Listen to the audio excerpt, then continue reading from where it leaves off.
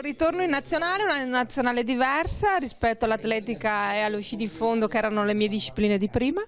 eh, ma un bellissimo ritorno, mi sto divertendo molto e molto, eh, ho molta energia da, da, dare in questa nuova disciplina. Sto partendo infatti in questi giorni per la maratona di Boston che sarà lunedì prossimo